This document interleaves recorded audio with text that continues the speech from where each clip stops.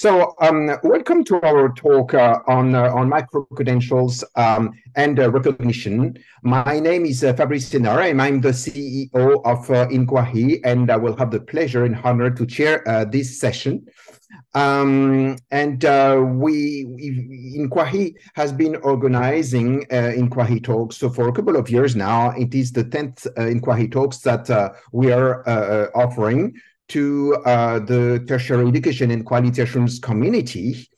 Um, you may not be so familiar uh, with our network. Uh, INQAAHE is uh, a worldwide association established in 1991, and we have more than 300 uh, members uh, active in practice and also theory in quality assurance in tertiary education, composed of uh, external uh, quality assurance bodies, tertiary education institutions, and uh, some individuals spanning all continents.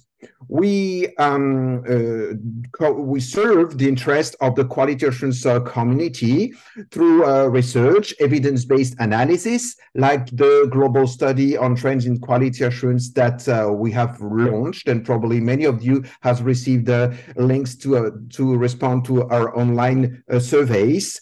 Funding for projects on capacity building and research as the call for applications have been set um, uh, this uh, week. Also, external reviews of quality assurance uh, agencies, technical assistance, and various workshops and other capacity building activities. So we uh, are particularly uh, uh, honored to organize this INQAAHE talks today with the um, uh, participants who should be majority majority from the uh, American continent. Of course, we, of course, we welcome all the participants. But uh, we we had this uh, INQAAHE talk uh, one week ago, and regarding uh, the interest on the topic, we decided that we would uh, organize it again. And we are pleased to do so because more than 42 percent of our membership is from the Americas. So uh, from uh, North Canada to uh, South Chile, meaning uh, 8,000 8, miles, we have a lot of members. And we are we are more than 100, 130 participants today, which is very very good, and we are very pleased. This is uh, thanks to uh, the dissemination of the information and so the mobilizations of, uh, of uh, our networks and specifically Real CULP. And we should thank uh, Ariana de uh, Vincenzi. Real CULP is a network for Latin America Caribbean associations of private universities, as well as other networks that we have like CHEA or CONAHEC and also many others. So um, we feel uh, uh, quite well positioned and privileged to host this inquiry on micro credentials uh, um, for uh, uh, different reasons. The first is that we're, as I said, we're launching the uh, external reviews of agencies against the international standards and guidelines and these uh, standards and guidelines, which are following uh, uh um, the, the process of uh, guidelines of good practice that you may have already heard of. Now we're using the international standards and guidelines to review externally the agencies and uh, um, we have we are proposing some specific modules to uh, better address uh, how external bodies uh, operate in some fields of quality assurance, specifically um, internationalization, digital education, and we have a specific modules on short cycles and micro credentials. So we are very uh, pleased now to offer the external reviews against uh, uh, uh specific standards related to micro credentials because we will see uh, uh, today, it's it's an issue, concern, and challenge for many of us.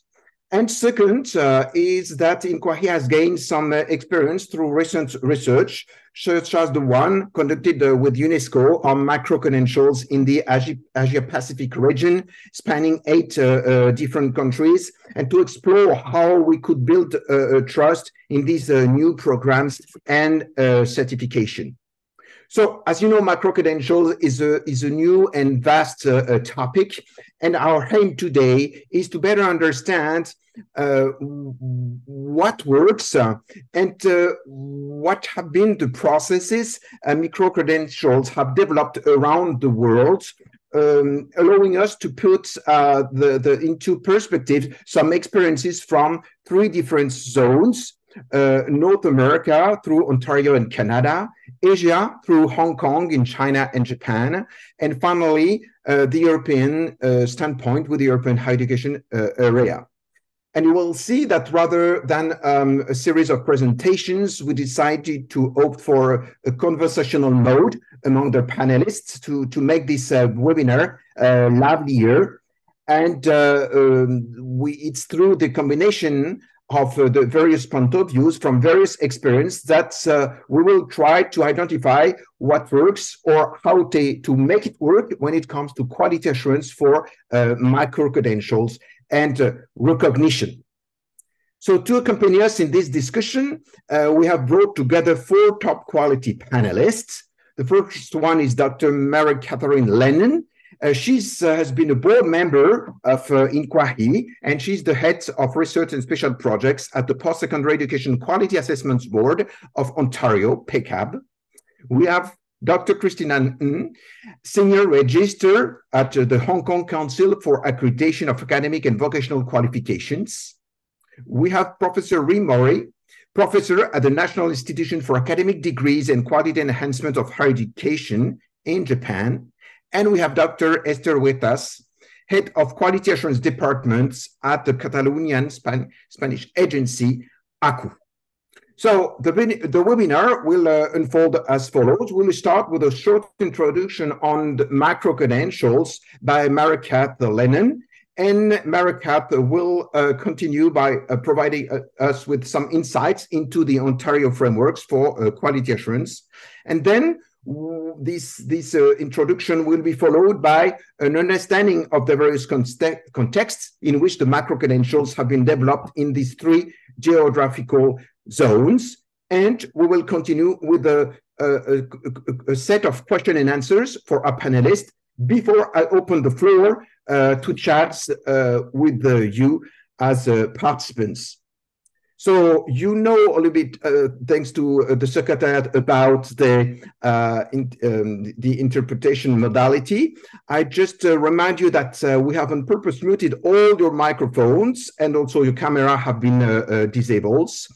however, we are very keen to hear from you during the presentations, and of course, when we open the Q and A session, and you can use the Q&A uh, function to ask uh, questions, uh, provide comments. So even though we have uh, uh, inter simultaneous interpretation in Spanish, uh, it may be easier for all of us to use English when you ask the question. However, you're still free to ask it in Spanish, and don't worry, we will manage that. So without further ado, I'm excited to kick off this uh, webinar and turn it over to Marikat Lennon. Please, Marikat. That's great. Thank you so much, Fabrice, and, and thank you all for joining us today. It really is a pleasure to have the opportunity to share the experiences that, that we've all been going through in the development of regulatory quality assurance models, the development of models, frameworks for micro credentials in our different jurisdictions. It was when we were developing the intentions for this presentation that we recognize that despite the different ways in which we were going about tackling the issue, we all were dealing with similar challenges, um, similar complications, similar issues that revolve around micro credentials. I'm going to put up a slide here if you'll bear with me. There we go.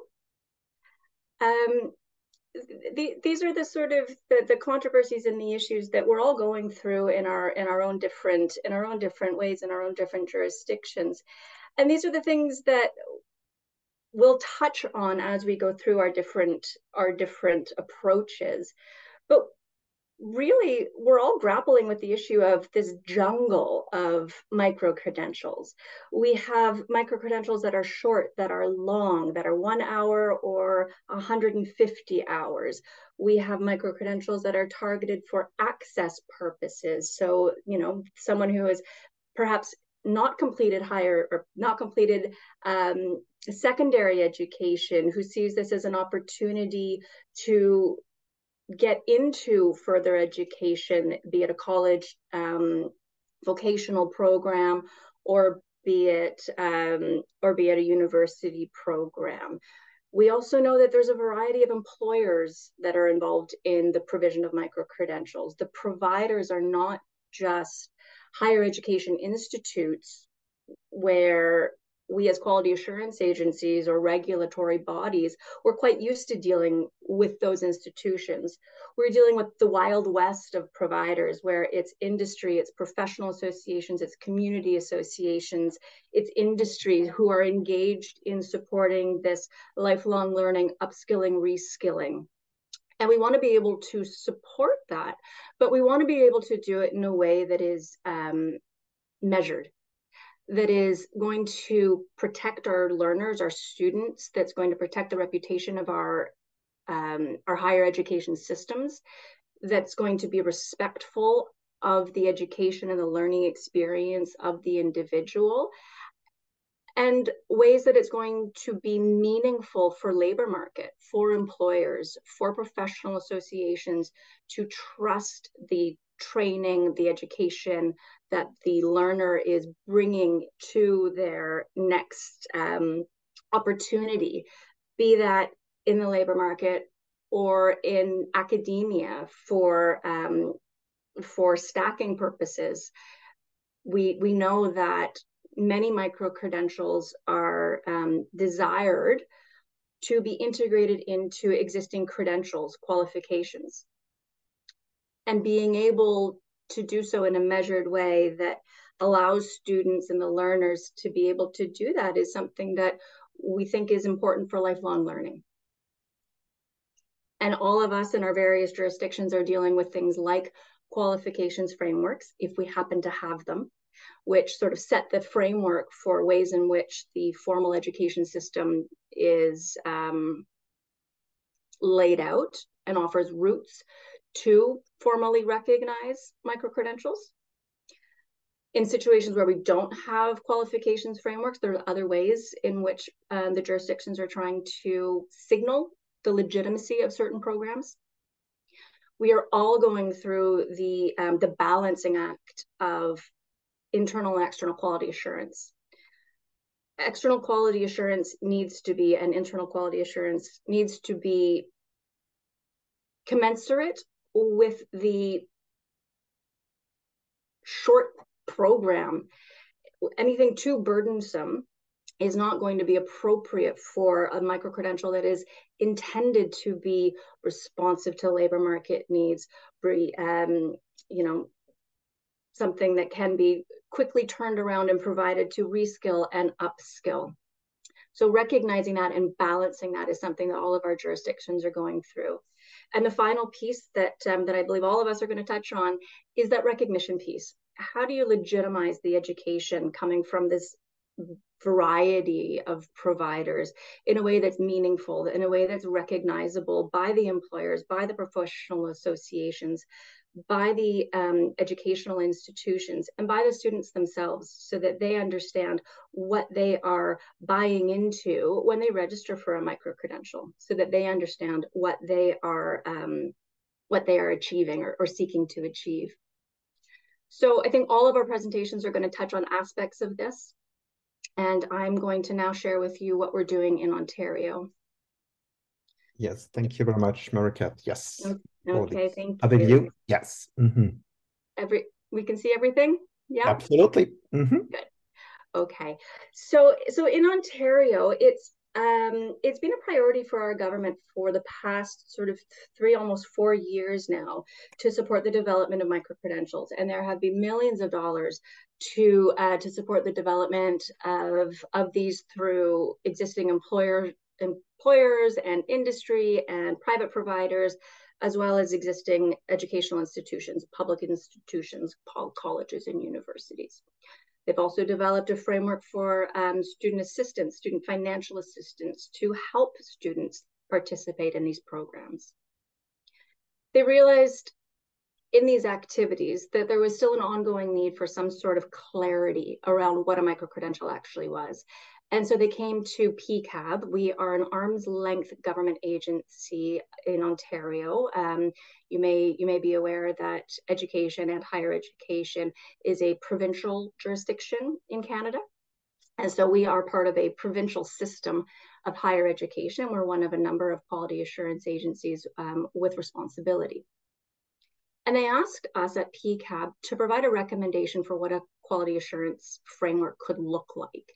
And, uh, and we've been working hard in collaboration with our sector partners to develop something that we think will be useful, in something that will be valuable, and something that will not be too onerous to implement at the institutional side or the government side. And our first process really was to identify what the problems were. And our main problem was a lack of clarity. What we identified as the issue is that there, the onus is really on the student to presume the value of the investment in the educational experience.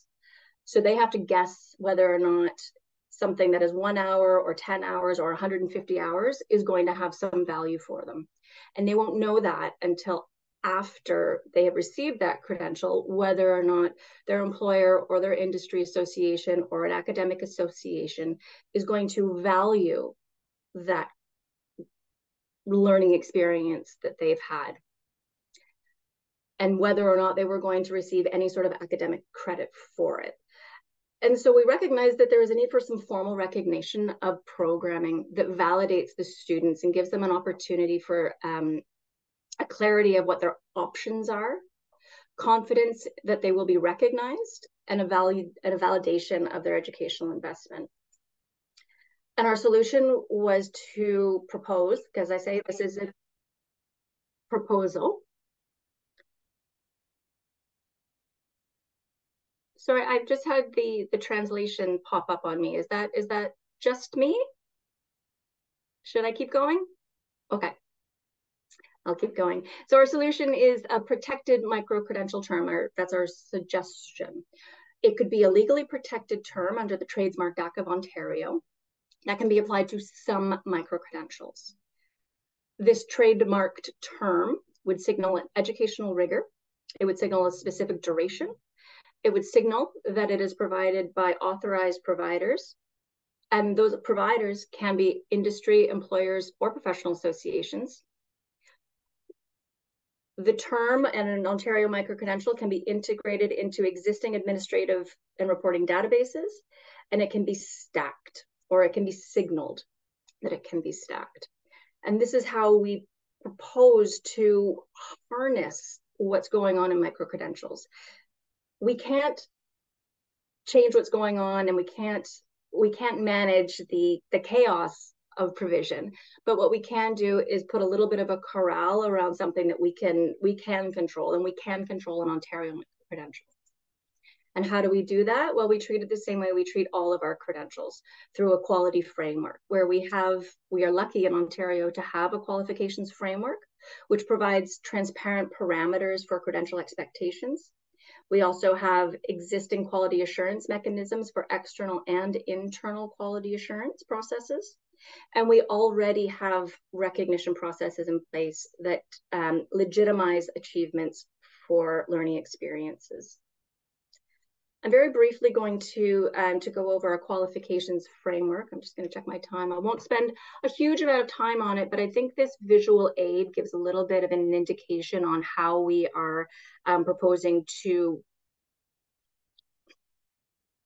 capture what a micro-credential is to put a little bit of the, the parameters around it. After extensive consultation, we determined 12 to 40 hours was appropriate for a micro credential. Typically, a credit is worth about 12 hours of seat time. We don't have an existing um, credit transfer system or um, credit system beyond seat time. So that's essentially what we've used. We also think that there is absolute value in articulating the academic level of a micro-credential so that there's a clarity of whether or not the educational rigor is at a certificate level, sort of pre-diploma. If it's at a diploma level, sort of targeted for professional purposes, or pardon me, vocational purposes. If it's at the bachelor's level or if it's at the master's level, where we're really talking about very technical, um, high level programming so that students know clearly what education they're getting employers know what they're getting and institutions have a very clear idea of what type of education the student is seeking credit for the providers that we um, we have in Ontario currently with quality assurance agencies would be eligible to provide license. Uh, they would be eligible to receive a license to provide Ontario micro credentials and um, and we have proposals for how private career colleges and industries and employers and professional associations can work to achieve that Ontario micro-credential status for their programming. Finally, um, we believe that the recognition of micro-credentials is critical. We think that they should be stackable. No, no, pardon me. We think that where it is appropriate for them to be stacked, it should be signaled so that students know that this educational opportunity can lead to further opportunities and can be recognized in a formal credential. So we think that there's an opportunity to use this OMC and an OMC plus status as a signal and a means to support academic credit transfer because this would be recognized as a credential through the institutional databases, it would be treated the same way that any other credential is treated, validated and portable into any of the existing databases. And, um, and these are the these are the sort of core elements that we are proposing for the Ontario model. Really, our goal was to balance priorities. We wanted to recognize the importance of learner choice, learner protection, employer needs, educational best practice, the simple signaling with an OMC, with a sophisticated process building upon our existing quality assurance internal and external processes, in institutional autonomy to make the decisions about curriculum and system coordination so that we all have an understanding of what we're talking about when we speak of an Ontario micro-credential. So that is that is the model that we are putting forward, and we're excited to see what the um, what the next phase will be. Um, but I will um, I'll pass it back to Fabrice so that we can learn from yep. our other colleagues what's going on in their jurisdictions. Okay. Thank you very much, uh, Marikat, and uh, you're perfectly on time. So thanks for that. Thanks for the insights into uh, uh, the situation in Ontario. And um, so we'll have also time to ask uh, questions to Marikat during the Q&A session. I suggest that now we directly go to uh, Hong Kong uh, with uh, Christina Ng, who will uh, share um, uh, with us um, an overview of the national context there, progress, and uh, main issues. So, Christina, please, up to you. Thank you very much. Thank you. Um, so let me just share my screen. Yeah. Um. So thank you and Good evening, everybody from Hong Kong. Um, my name is Christina. Christina, um, you're muted, or I can't hear I'm you. Muted. Can you hear me?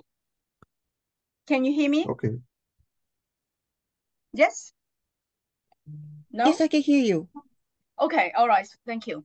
Um. So um, I'm I'm from the Hong Kong Council for Accreditation of Academic and Vocational Qualifications. It's a very long name.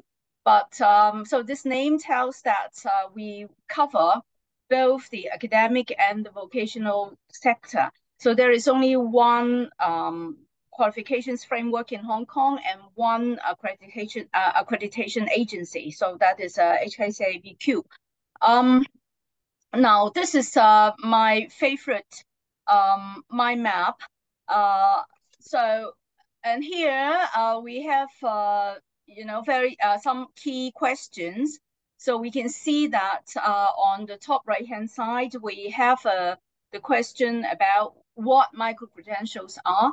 And so that relates to um, the uh, uh, the definition. Uh, that so we we need uh, to look into a definition for micro credentials.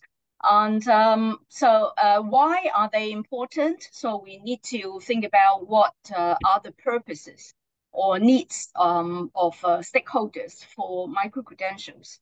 And so in the middle, is this something new?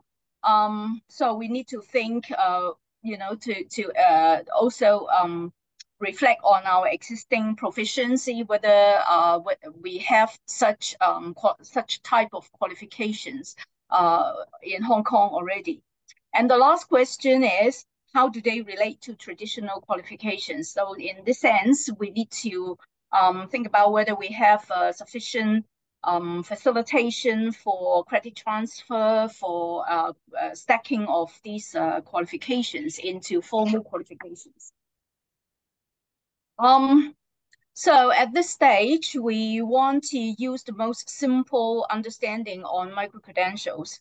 Um, so they are short, small, uh, with focused content, relevant to industries, and uh, the uh, there's a great deal of flexibilities in the delivery mode, and um, so the uh, it's basically demand driven.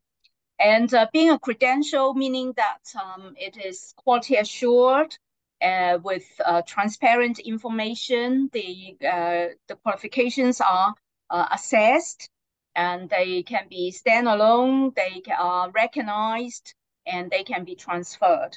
So are these new or do we have micro-credentials in Hong Kong? The question is yes and no.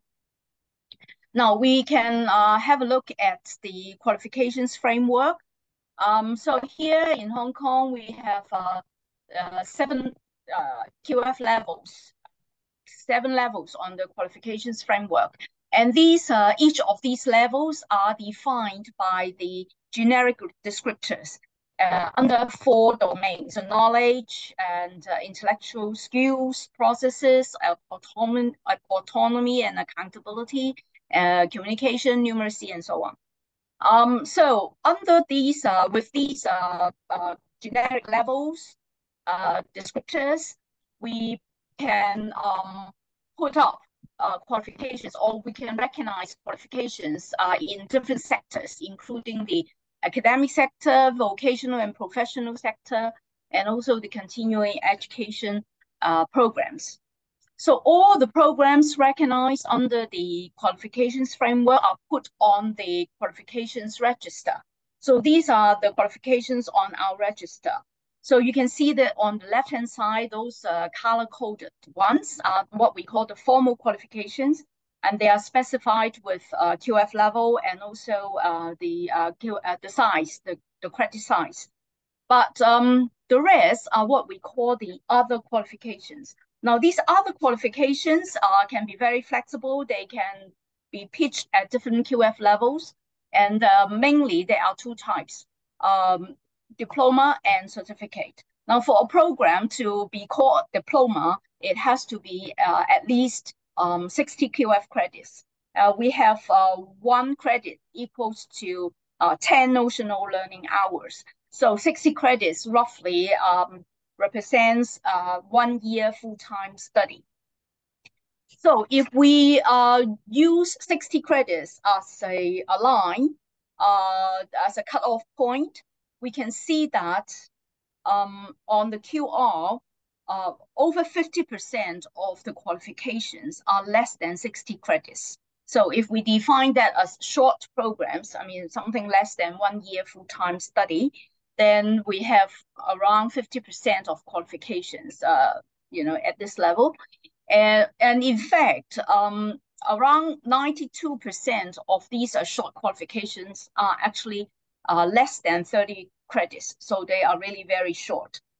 Um, and uh, most of these uh, qualifications, 99% of them are pitched at Q, uh, QF level one to four, uh, one to four. So what does that mean? It means that uh, we have a large number of qualifications uh, accredited on our register already, and, and they are mainly pitched at lower levels. So how do we recognize them? Now, that is an illustration of the key issue. So we have the formal qualifications. So now uh, we would like to see these qualifications to create more flexibilities.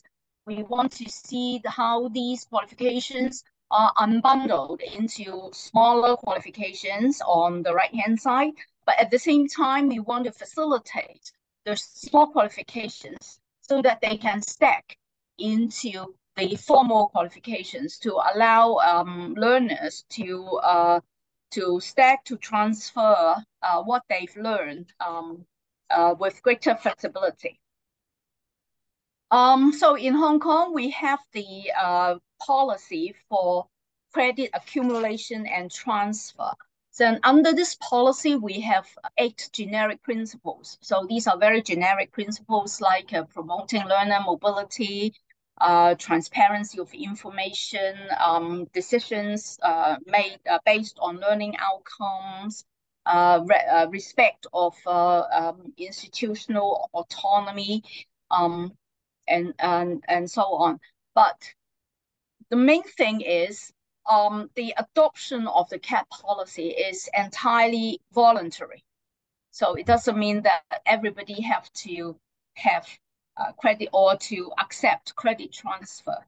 So if we look at the qualifications on our uh, qualifications register, we can see that actually 65% um, of um, the qualifications, they do not accept credit transfer. And uh, even for those who accept credit transfer, it's only just uh, an institutional policy. That means in principle. And um, only about 4% of uh, programs, they have very clear um, credit, uh, credit transfer uh, arrangements. So in other words, the take-up rate for transfer is very low. So we asked the institutions, why do they not accepting credit transfer? Mm. So they have provide a number of reasons, including um, you know lack of uh, curriculum information, uh, they are worried that they lose control of um, the intake quality. And also, uh, it's very difficult to find partners uh, with institutions to arrange for transfer uh, or some uh, something to do with the impact of their branding or the competitive edge. Um, so that created a lot of reluctance or from program uh, personnel. Um, so we also asked the institutions uh, whether they want to develop micro-credentials. And almost 100% of them say, yes, they are very positive about the development of micro-credentials. And they give us, uh, um, you know, some examples of their plans. So including like uh, unbundling the, um, you know, the existing programs into modules or embedding uh, micro-credentials in new programs or convert existing um, you know CPD programs into micro credentials and so on, and also to um, enhance their internal guidelines to uh, facilitate credit transfer. And uh, they are also eager to um, collaborate with industries and other institutions to uh, facilitate uh, credit transfer. But at the same time, they also tell us that uh, they foresee a lot of challenges uh, in this um, development. For example, they they they uh, we still don't have a clear definition of micro credentials in terms of the size and so on. And uh, the stacking rules uh, is not clear at the at the moment, and uh, we uh, do not uh, have a you know a clear policy on the recognition of online programs on non-formal learning. Um, so they wanted more support. Sorry. Right. One minute, please, Christina. One minute. Oh, okay, okay. Uh, I need to, yeah, they wanted more support on program design, and also they wanted us to make it more uh, clearer on the uh, requirement for QA, especially on the uh, accreditation process. So uh, at this stage, we decided that uh, we should uh, leverage the existing framework because this is something that we've already developed. For example, the QF credits, the levels, the seven levels, the, the register, and also the QA um, mechanisms. Um, so what we need to do is to uh, enhance the existing framework to incorporate the micro-credentials. So we still have a long way to go, but we are moving forward steadily. And uh, we want to ensure that all the the uh, the needs of uh, all stakeholders are addressed. So um, I'm uh, I'll stop here, and uh, maybe we can um, discuss further in the Q and A session. Thank you. All right. All right, thank you very much, uh, Christina, for, for, for this. And uh, actually, yes, we'll have a question if you want to elaborate a little bit on the on the framework. Uh, thank you, thank you very much. And I suggest uh, we stay uh, uh, in the Asian region, and we will now pass the floor to Rie Mori, and Rie will explain to us the national context for micro-credential in Japan and the progress made there. Please, Rie. Thank you, Fabrice. Do you hear me all right? Good. Absolutely. Uh, mm -hmm. Great. Uh, good morning, everybody. I'm Rie Mori from NIAD-QE Japan. Actually, I'm in your tomorrow. It's already Saturday in Japan. Uh, okay. Uh, so the today's theme is navigating future learning, recognizing micro-credentials, and in discussing the future of micro-credentials, let me start uh, my presentation by asking a question myself, which is uh, the official micro-credentials in Japan. And uh, my answer to this question is, this is me myself, oh yeah, it's not, it's not very clear. Let me explain why I am this ambiguous. As of today, there is no official definition of the micro-credential in Japan. Meanwhile, there are some practices conferring so-called micro-credentials by individual higher education institution in Japan. So uh, actually the clarification is lacking and the lack of clarification has already touched by Christina and Mary Kias uh, in their presentations. Therefore, uh, again, uh, in the context of Japanese uh, higher education, before you start talking about market credentials in Japan, you are supposed to clarify what you are talking about. So let me try in this regards. This slide is based on my speculation about the definition of micro-credentials in my uh, higher education system. What I suspect is so-called micro-credentials are the credits, not the credit, but the credentials or the, the seal of learning outcomes smaller than credits.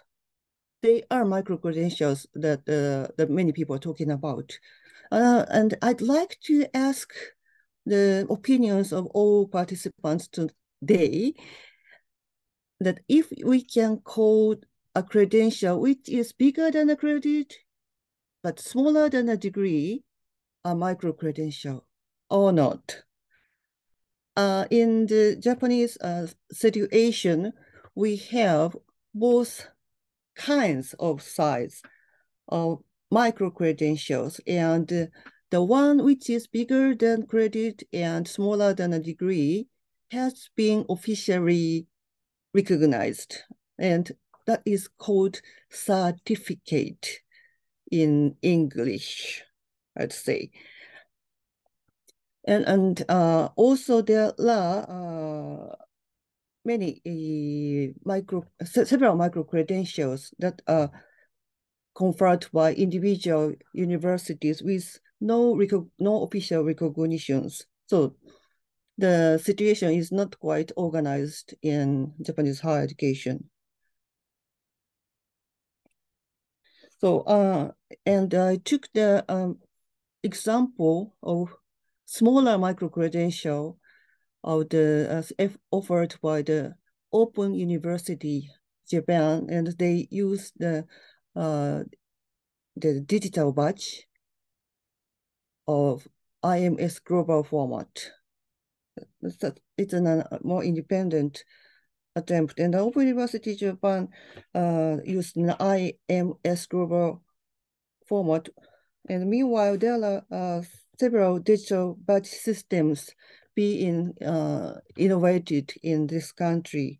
And uh, those attempts are to unify the digital system of micro-credentials and uh, some uh, front runners are competing to win the, the status of, um, let's say, uh, the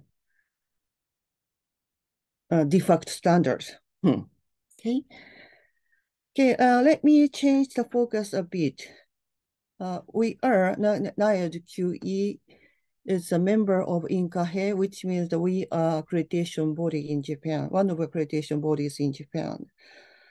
But uh, even before we start uh, the function of accreditation or quality assurance of higher education, we were established to award degrees to learners who are not college students based on the independent credit accumulation, the uh, the credit accumulation and transfer system, which exists in Hong Kong and actually uh, HKCAAVQ, Christina's organization, and NIAD-QE, my organization, has some ideal uh, source from the CNAA in the United Kingdom. In any event, uh, we still award the bachelor's degree to learners who are not college students, and they are supposed to accumulate not micro-credential, but macro-credential, which are credits to earn a bachelor's degree, and we confer degrees in 60 concentrations under 27 major fields, including the 60 concentration uh, include mechanical engineering, nursing, judo therapy, if you understand what judo therapy is, and the physical education, or French literature, uh, German literature, Russian literature, you name it, we have it. And uh, yearly, recently, we award award our, around 2,500 bachelor's degrees year, yearly.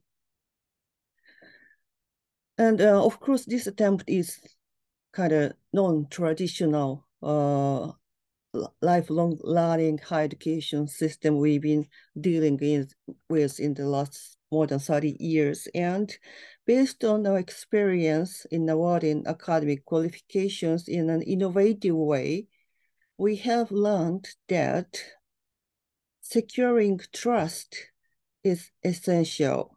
So in order to pro promote, if you want to promote micro-credentials, we need clear workload determination because uh, in terms of macro credentials such as credit or degrees, common sense may work. We have just learned that from Christina's presentation, it's not always the case, but it's uh, still easier to understand than micro credentials in which common sense may not work well. And uh, so the the workload determination may be needed and level determination where I mean that at which degree level the learning or the micro credential has happened uh, may be needed in order to secure the traceability of learning to guarantee the stackability, making the smaller chunk of learning to a bigger chunk of learning or the creden credential. To uh, make sure the authenticity of my creden credentials themselves to, and to ensure opportunities learn a larger chunk of creden credentials to, to, to, con to continue the, the learning for further uh, directions. So to clarify uh, from where the micro credential comes and to where it takes you, I guess national qualification framework may help, I guess. So another question of my uh, in my presentation, this is almost the last slide, is that is there an official NQF in Japan, National Qualification Framework in Japan? And my answer is again ambiguous. And actually, technically, we in Japan, we do not have national qualification framework, but quite recently, uh, NIAD-QE, my uh, colleagues issued a tentative version of Japanese education qualification framework, which you can find on the link and understand the, the slide of the presentation of this uh, event will be will be uh, provided afterwards. So uh, in terms of micro-credentials, Japan is in a slow mode of development, but it's still happening. So uh, I'm so happy to be here with you and uh, I'd like to learn a lot from you. Thank you very much for attention. Okay, thank you, thank you very much, Ray. Thank you very much for this uh, this uh, presentation. And uh, I suggest that uh, we now directly go to uh, Europe and uh, to Catalonia, Spain, with Esther Huertas' presentation. Um, after that, we'll have a couple of questions and I will open the floor. But Esther, take your time in presenting um, the context. Thank you. Hello, good morning, good afternoon. Can you hear me? Yeah, can you see the slides? Okay, thank you very much. So good afternoon, good evening, good morning to everybody. It's a pleasure to be here with all of you today to explain the experience of the Quality Assurance Agency, which is the agency responsible for the quality assurance of higher education in Catalonia, region of Spain and at the same time it's i would like to say that it's a challenge to to talk after the previous uh, speakers because they have already said a lot of things and and i will try not to repeat myself on on some of the ideas they have already highlighted. So my presentation is going to focus on on one particular and, and very small uh, experience um, uh, of the system because the higher education system in Catalonia was involved in designing and, and short learning programs in order to flex to have a flexible pathway to access the tertiary education. And I'm going to try, I'm sorry, it's not working. Wow. Okay. I'm going to to try to answer three main questions. What are micro-credentials from the point of view of the European higher education area. So we, though we are going to see a lot of similarities, as uh, our previous speakers have already said, why we're so relevant in, in our context and why we choose a special characteristics of short learning programs and how was implemented all, all the process. And I will focus a little bit more on, on the quality assurance elements.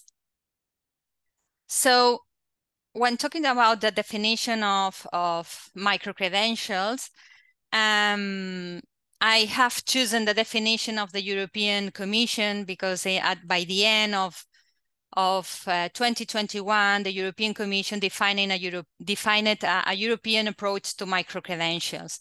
What it said that a micro-credential is a, a small record of learning outcomes that a learner has acquired following a small volume of learning. So in general, this is the, the, the definition that, we understand under the term micro-credential. But there are more elements that we should bear in mind when talking when talking about uh, micro-credentials because uh, this framework, this approach of the European Commission includes another characteristics. For example, the quality. Micro-credentials should be um, quality assured internally or externally or both, depending on, on how the things are evolving and designing. Uh, it is really important that transparency, and when we talk about the transparency, we are referring to the workload of the macro-credential, the qualifications framework, and also the information that should be embedded in, in the micro-credentials themselves. Also the relevance, because we are we are having a um, approach really focused on, on the labor market needs.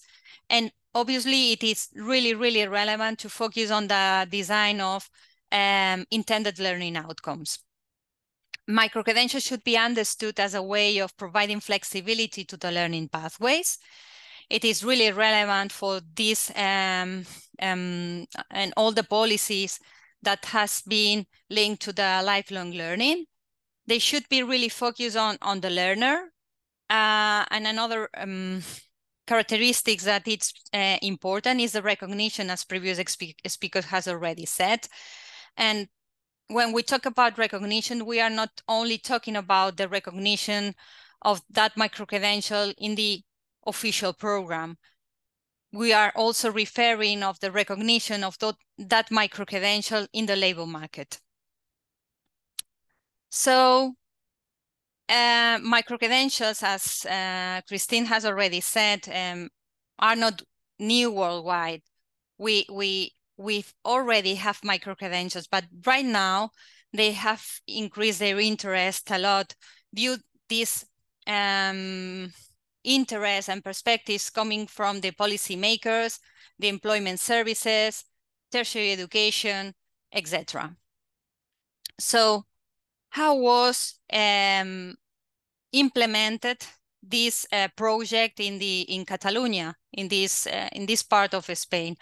So uh, in 2020 we began to design uh, this this pilot of short learning programs and this demand comes from the Barcelona Digital Talent, which is a, a consortium of different public and, and private organizations that identifies the gap in the ITC fields. So this uh, organization um, decided to bring this uh, challenge to the Catalan government and pretends to uh, look for a solution to the workforce to, to have a better training of the people of the workforce.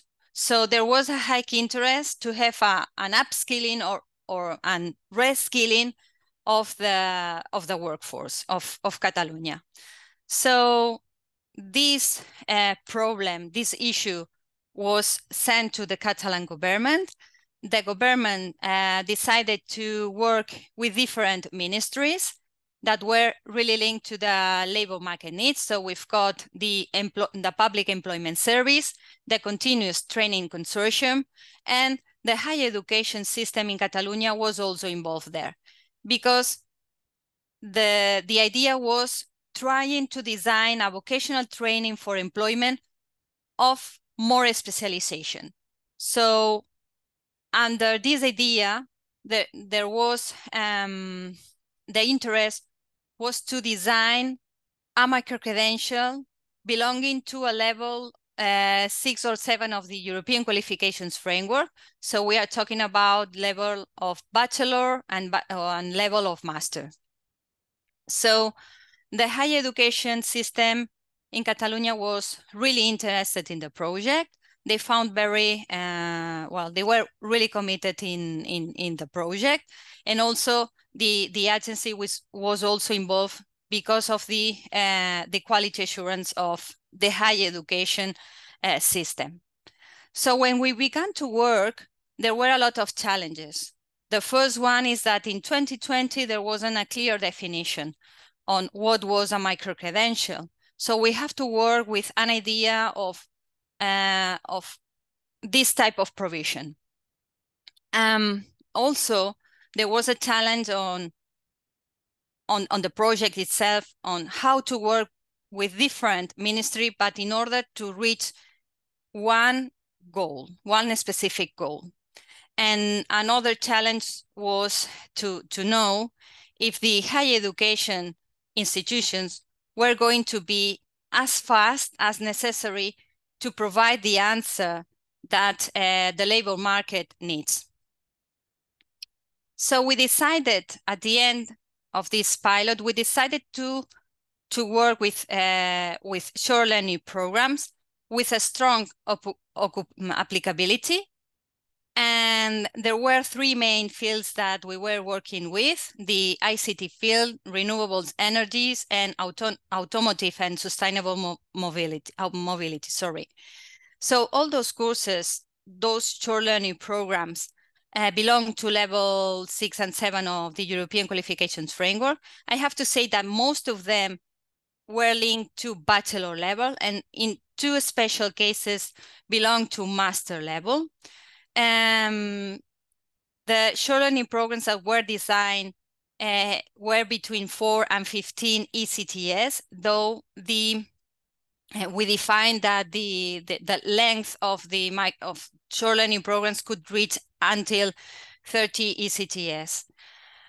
Um, there was also the idea that those programs that were validated by the agency, that were um, analyzed following a procedures and following the European standards and guidelines, that they could be recognized in official degrees.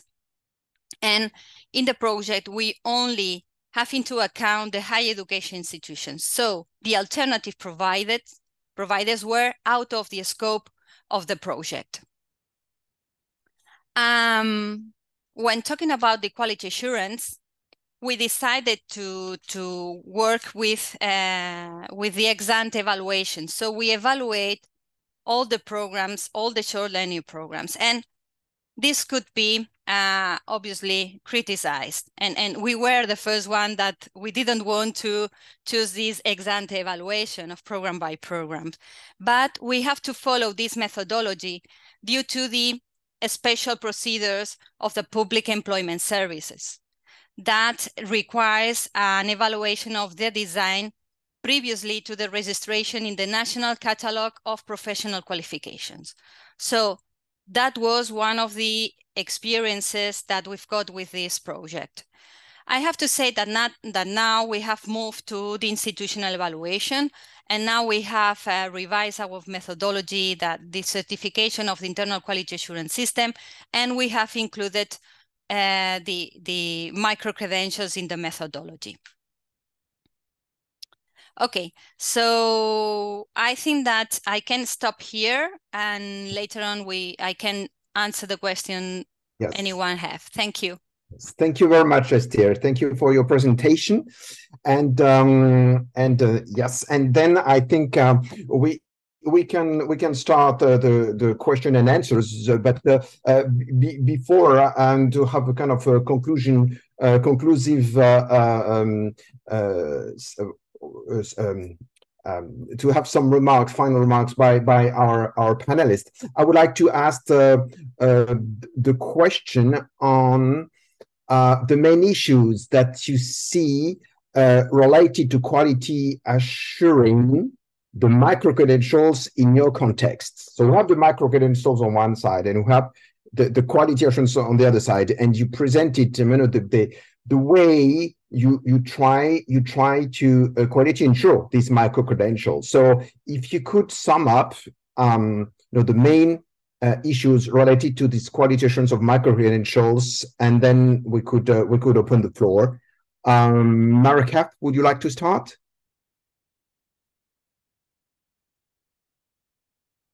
Thank you. Um, yeah, thank you uh, very much. I again, those, those presentations are so interesting because they are so fundamentally what we are dealing with in my jurisdiction in Ontario. The one thing that um, that I think I would want to bring forward as sort of a, a point of consideration is that in the Ontario situation, the Canadian situation, we find that a lot of our um, individuals enrolled in micro credentials are those already in the workforce? Are those already with post secondary education? And so engaging the professional associations as partners mm-hmm. in supporting micro credential legitimization we think is really important for, for two reasons one these professional accreditation agents professional accreditation bodies that deal with healthcare that deal with um, yeah a lot of healthcare that deal with education for example they have professional development expectations hmm. That are um, very easily transferred into micro credentials which would simplify their recognition of education for the individual for the professional accreditation component. The other the other piece of that professional industry relationship that we think is really important is that large industries i think about places like google or ibm or hydro ontario this large corporation that's responsible for the hydroelectric system that keeps our our jurisdiction running they have professional development, they have training courses for their employees. The opportunity for them to partner with an institution to ensure that there are clear learning outcomes, curriculum that is validated and valued, that there are assessments, and that their employees might be able to have that professional development programming recognized for academic credit or recognized within other within other industries or with other employers has real value for both the industry employers as well as the individuals who are taking the courses. So the the conversation that we've had today has really been about our traditional higher education systems and i think we also need to branch out into recognizing the very significant role of alternate providers mm-hmm. in our mm-hmm. higher education landscape for micro credentials Okay, thank you, Marika. Can I ask some questions to uh, to uh, Christina, please, in uh, in one minute only, please. So okay, I'll try my best. Okay, yeah, um, so I think in Hong Kong, uh, as I explained, we already have a lot of. I mean, our our uh, qualifications framework covers both um, academic and professional and vocational qualifications. So we already have a lot of uh, short programs uh, uh, developed and accredited. Um, so I think the issue is similar to Ontario that we need to um, reach them uh, to I mean to to to uh, uh, to facilitate the transfer of these uh, uh, credits um, or uh, short qualifications into the formal system the formal education system. Um, so for, for recognition. Um, so uh, we basically uh, we have um, you know all, all the infrastructure built, but we want we, we need to really address uh, what do learners um, want to do with the micro credentials, whether mm. they want to have it um, for for for further education for stacking, or whether they want to have the um, you know the, the the, the recognition in the industry. So this is uh, something that we, we need to uh, work for, uh, work on. And uh, our problem is that, or maybe our, not not really a problem, but our our decision is to um, work on the existing uh, infrastructure. And uh, right now, mm. our accreditation is program based. So we need to find a way to make our accreditation more responsive to the um, to the need uh, of the market so that um, you know um, providers they can launch uh, new and short qualifications um, to meet the you know the ever uh, uh, developing demand in the market so I hope that's that's more than I'm sorry for that. Thank you, Christina. Thank you. Pass over to Rie in Japan, please, and then Esther. Okay, thank you very much. Uh, my disclaimer is uh, my answer is based on my speculation because the the the the reality of micro credential giving is not uh, so busy in Japan, but uh, I suspect that the, if a micro credentials has been issued by higher education institutions, we can apply the existing infrastructure that Christina mentioned to uh, QA the, the existing degrees or uh, credit programs. So uh, in terms of the uh, high, the providers at higher education, I don't worry about it that much probably we will be start thinking more seriously about the, the QA of micro-credentials when other kind of providers from the business side mm. comes into the scene. That is what I guess at this point of time. Okay, thank you. Esther? Yes. Um, so it is really important to to bear in mind that that we have some tools to to guarantee the the the quality of of of micro credentials. And and we have to use those tools um, and those tools we've got some uh, procedures etc and and and standards and guidelines etc but those procedures provides trust to the society. And that's really, really important because it's the basis of everything. So I would say that quality assurance is relevant. They provide transparency and trust to the society, to the to the labor market, etc. And we've got other elements that we should bear in mind. For example, in, in the European higher education area, we've got the European standards and guidelines that they contribute to the develop a common understanding in the system. But there are other contexts with other standards that can be used and will be really helpful to apply. So um, that's something I would say of high importance. And and and well, that's it. I, I would provide this idea. For me, it's the most relevant one. Okay, Okay, thank you, thank you very much, uh, Esther. Uh, so, dear uh, dear colleagues, uh, you can uh, use now the the Q and R uh, section rather than the chat. It will be easier for us. Um, but I have already a, a, couple of questions, and um, uh, one is interesting is about um, how to best combine uh, the the academic programs and my micro credentials. And uh, in our in your frameworks or in your practice for those who already already started uh, uh, did you have that uh, reflection um, on what could it be complementary or a substitute to to the classic academic programs? I don't know who would like to to uh, to take the floor, trying to comment on this.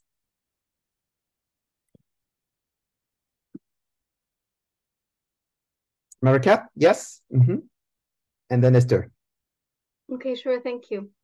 Um, one of the one of the things that that we think would be helpful to support the integration of micro credentials into formal qualifications is um, is the quality assurance process that establishes the academic level.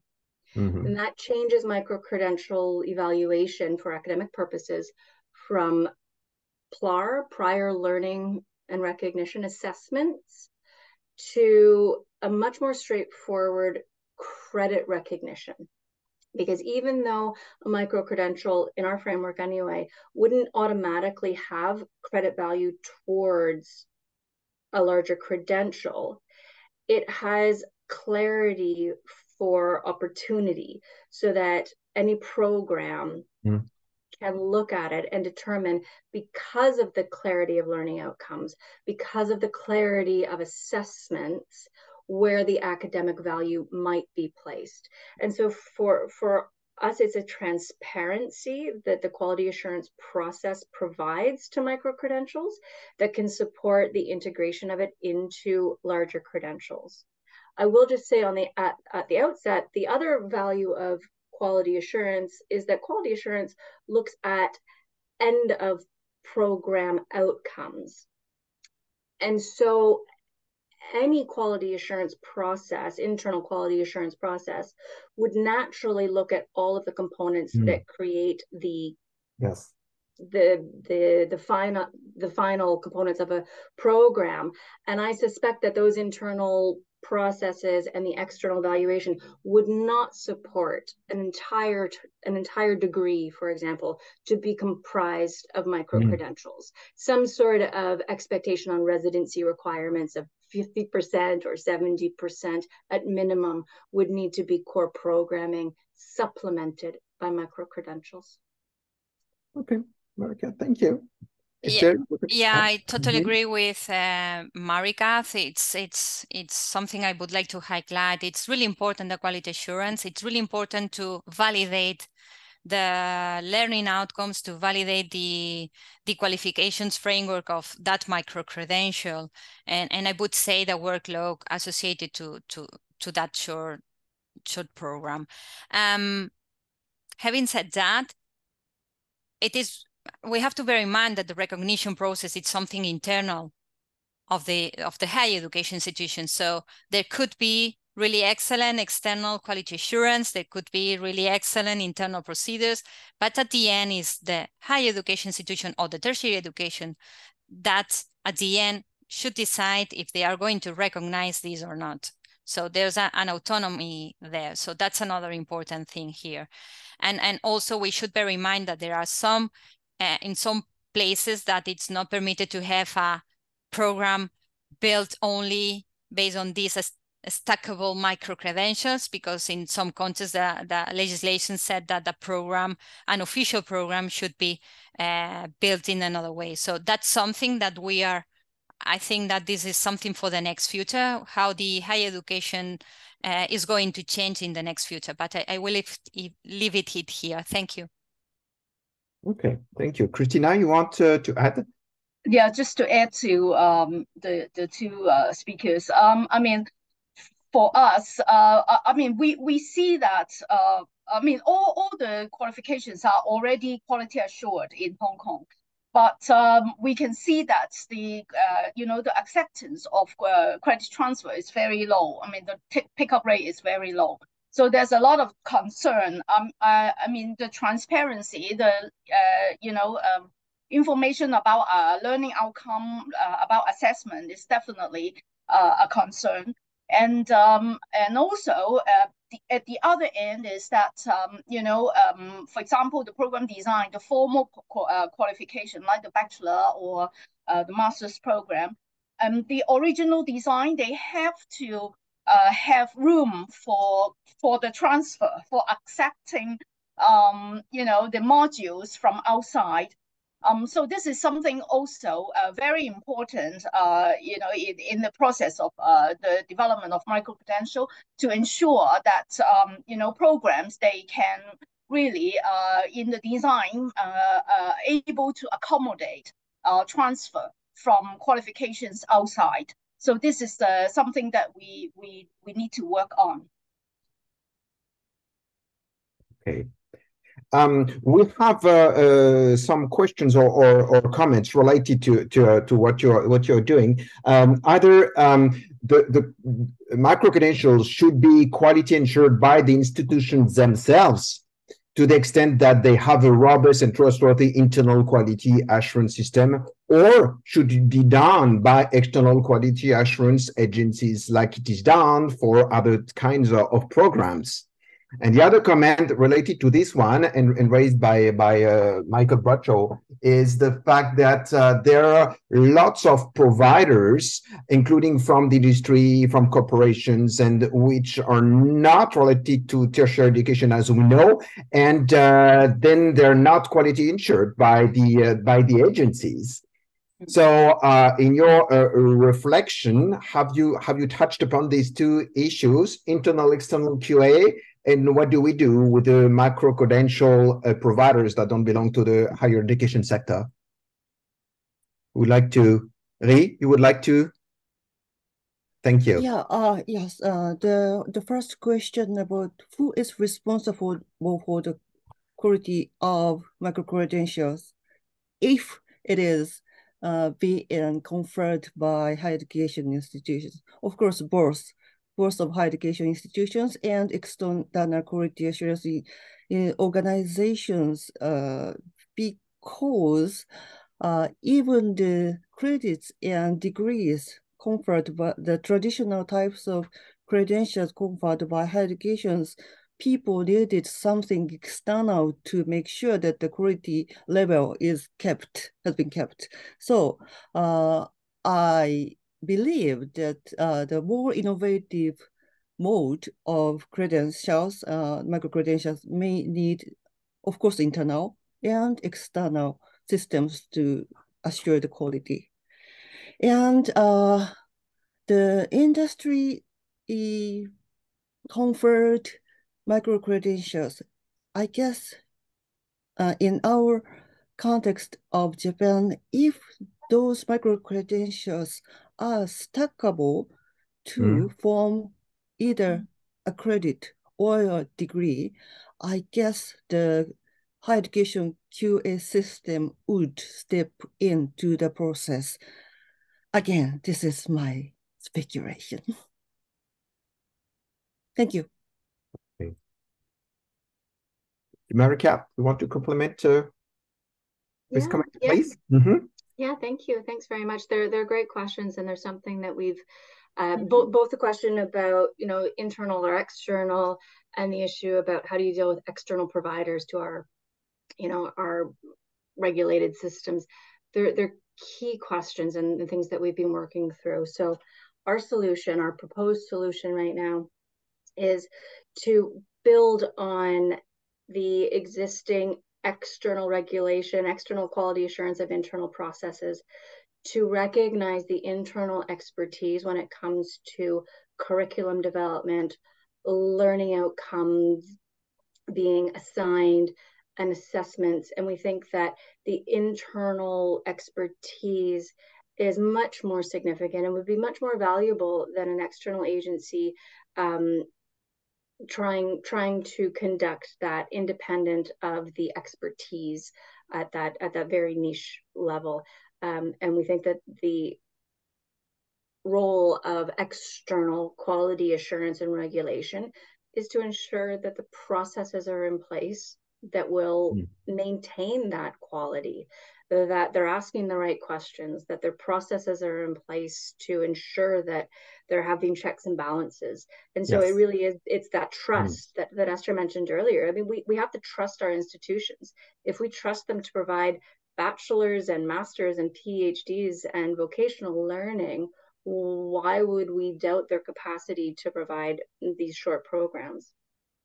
The um, the other question that that was brought out regarding external providers and how do we yes. incorporate them manage them well in in our situation we value absolutely value what they bring to the education the training for um, for whatever their industry may be but we also recognize that they don't necessarily have the curriculum design expertise to mm. develop learning outcomes, to create assessments that are appropriate for a master's level or for a diploma level or for for those sorts of those sorts of things in order to make sure that they are able to be integrated into higher education.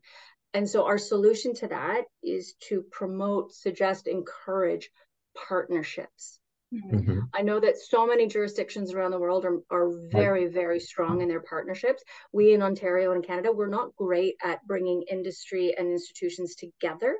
And we think that this is a real opportunity to take mm-hmm. to take expertise and curriculum design and bring it together. Okay.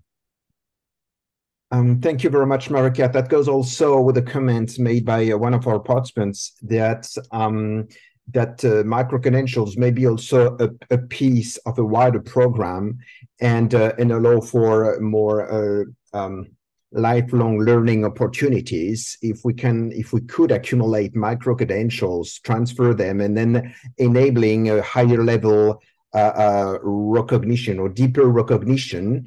But to do that, you, we probably need also to to work as higher education much closer to uh, to the employers, to the uh, to the industry no? And so it's the question about about having that opportunity new to trigger lifelong learning and not only through programs but also with these pieces that are uh, macro credentials. I don't know if you agree that was more of a comment but i found interesting. Is there? Yes uh, that's right. That's that's the idea. The, the formal program should have some um, place for uh, having the recognition of micro-credentials. What is really important is that those micro-credentials are really focused on the workforce. workforce. Nonetheless, the, the, there are other type of micro-credentials can, that can be more focused on, on social aspects, etc. But the focus we've got right now in, in Catalonia and in Spain, it's a focus really uh, on on on the needs of the labor market because there's a mm-hmm. strategy mm. for um, having uh, better employability and have employability with uh, better conditions and doing um, eh, tasks with more difficulties. So we need this lifelong learning for mm-hmm. upskilling and reskilling people that is already working in in in the in the system okay? And uh, yes that's that's very very important. Okay. I see. Um there is also these comments on uh, on the definitions. And when you started uh, your presentation you all insisted on the fact that uh, we needed to be uh, clear about the terminology. Uh, so we see there are some some i don't know if it's a misunderstanding but at least uh, needs for clarification between several types of alternative programs or this kind like badges for instance. Are they similar to micro credentials and also all kind of new programs that have emerged uh, during the pandemic and and uh, thanks to uh, you know to the uh, expansion of uh, digital uh, education. And some ask you for instance if we should further explore the qualifications of micro credentials within the framework of black black blockchain um, you see technology blockchain. Um, so um, yeah, and and and uh, I have the impression that the, yeah, the, the the scope is vast and we don't have very clear definitions. But maybe we we will never get to to a clear definition. Uh, the the the modalities are so are so different. But I understand that on the other hand, we need also to come to a consensus about what it is and how we quality ensure this. So my question is, how would you see how to balance, you know, to keep that diversity alive and and uh, and, and trying to have some reference points so that at least we could quality ensure nationally and also internationally. I don't have the answers. I I, I have the privilege to raise the question. Maricath, wrap it up to answer my question. I, I, I think you've just hit the nail on the head of the this the, the problem that we've been grappling with in Ontario is there is so much going on that how could we possibly manage it? How can we possibly contain it without um, squashing innovation? Mm. And, and our solution was was not to try to organize everything, but to carve out a small space where there is consistency and recognition and validation and then everything else can continue the badging can continue the professional development can continue and not intending to devalue that but trying to um, trying to contain a little piece of hmm. it that will give um, a little bit of academic value professional value um, for those that are interested in doing it because we recognize yeah. that you know anyone can put something up online and, and have it mm. available There yeah. is going to be a mm. process mm. by which quality assured micro credentials have to go through there's an investment in time and, and effort if there is value in that from the institutions from the public from the industry and employers we'll see that mm. and that's what we're hoping for yeah, yeah, yes. Mm-hmm. Okay. Christina, you want to add a word? Thank you, Maricath. Christina? Yes, um, I think um, I mean, uh, when we when we think about a definition, I mean, probably the, the first question is the size. Yes. Um, but I, I don't think that is really matters. Uh, I mean, whether that is uh, four credits or 60 credits, it's just, uh, you know, a line to draw. But um, to, to define micro-credential probably is uh, you, we, we should pay more attention to, to the purpose. Um, mm-hmm. so how should we facilitate um, the purpose of micro-credential? For example, to uh, facilitate the credit transfer into the formal qualifications. Um, so that that is uh, that that that is I think what we should more focus on. And then the second thing is um, in Hong Kong, uh, as I said, we already have a, a large number of short qualifications.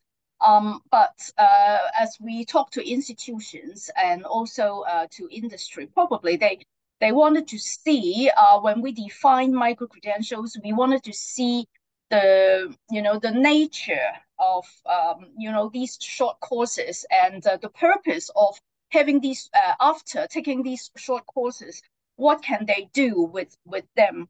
I think that that is, uh, you know, what um, what we get from from um, the stakeholders. So um, mm. and and and also uh, in terms of the uh, uh, information, the transparency of information. I mean, digital badge is just a way to present the information. That's true. Uh, so Mhm. blockchain is another way to present the credential. Um, but uh, the you know um, the, the the purpose of the credential itself is the essence that uh, we we need to pay attention to. That's true. Thank you, Christina. Yes, Rie, please. Yeah, thank you very much. I agree with Christina when she uh, mentioned the importance of digital badges or digital records because we have already stepped into the wild, wild west, and it, probably we are a bit too late to to make an, uh, a sort of a, a framework which benchmarks the the workload needed for a credit. For example, this micro credential is one third of a credit in Catalonia, things like that. Probably we are too late to do so. So what we can do at this point in time is to recode the source of learning and uh, the workload and the purpose and the value into a digital record so that uh, it in a various uh, size and various lengths of time and so that the receiver of the credential can look through the contents of the digital badge to decide, okay, this can be received to the, the purpose of this ap- applicant or things uh, or, or whatever it is. And probably I, I think we have to rely on the the informatics to promote and the the QA the micro credentials. Again, that is my speculation.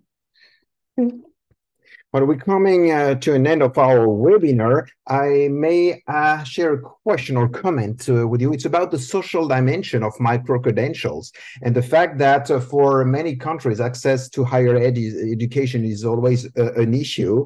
And so uh, to the extent that micro-credentials are, are financially affordable, it may be, you know, a new pathway to access higher education.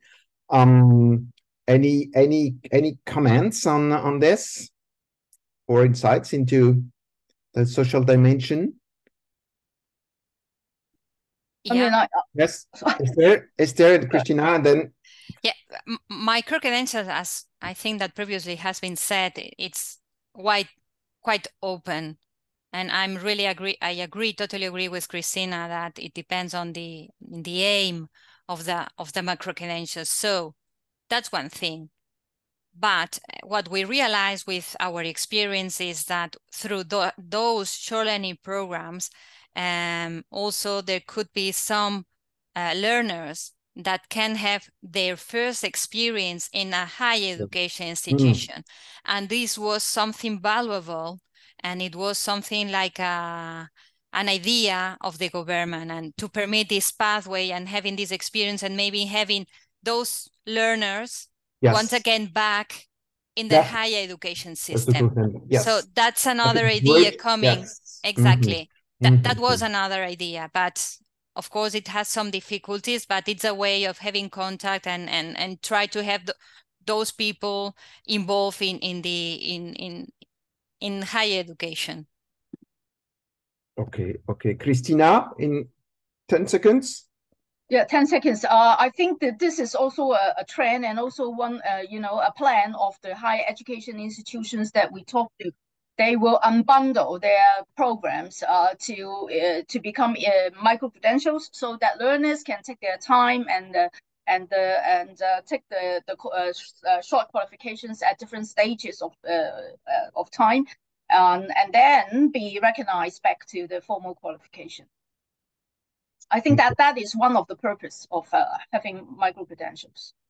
Okay, Mary Kat, you, oh, okay, Yeah, I'll just I'll just say very very briefly that there there is sort of a, a consideration and a risk with uh, with micro credentials, um, presuming to take on the role of a larger credential, where there are additional elements that you don't get in a very short program, the depth, the the theory, the um, the exposure to difficult content that it, I guess there there there is a risk with micro credentials um, taking on the just in time training and educational needs as opposed to a broader educational purpose, um, and that unfortunately tends to target those that are already at risk.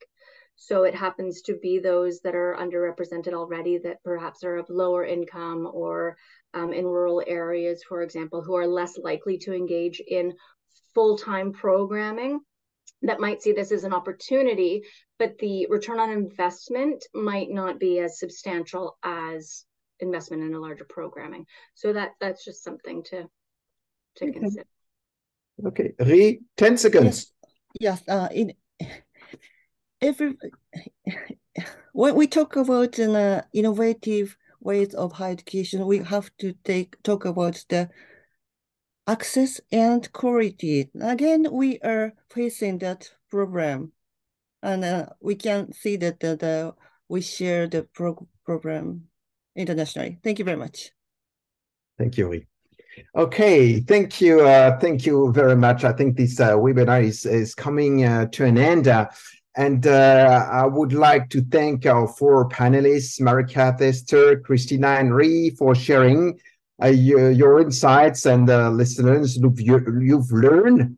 Uh, special thanks to Christina and Rie for staying up late on, uh, on your Saturday. Uh, thank you very much, uh, Mariekath, uh, who is not only a dedicated INQAAHE board member, but also a key contributor to the Inquiry MPL Center for Research and Capacity Building. You deserve our appreciation. Thank you so much. We are also grateful to our two interpreters who help uh, with the simultaneous uh, uh, interpretation that we're doing for the first time, and also for the support of the INQAAHE secretariats. And once again, I would like to to uh, uh, highlight uh, here the value and uh, the engagement of uh, our uh, sister partner Rea Culpa, who managed to attract many participants. We have 12 um, countries from South America and the Caribbean represented uh, here uh, today. So thank you very much uh, for your uh, uh, mobilization. And also we, we reach out to uh, other countries, Europe with Hungary and Cyprus, Portugal, but also Pakistan and South Africa. So as you know, we will share the, the slides and the recording uh, shortly, we will answer to the pending questions uh, uh, that uh, uh, are are um, posting on the Q&A box. Um, next November, we have another INQAAHE talks, and we will inform soon about the subject. It will it may revolve around employability, and I take the opportunity uh, of, uh, of uh, these concluding remarks uh, to remind you not to forget to respond to our online surveys for the global study, which is available in eight different languages, including French, English, and uh, Portuguese and Spanish. So I think it covers all, almost all the languages for the uh, Americas.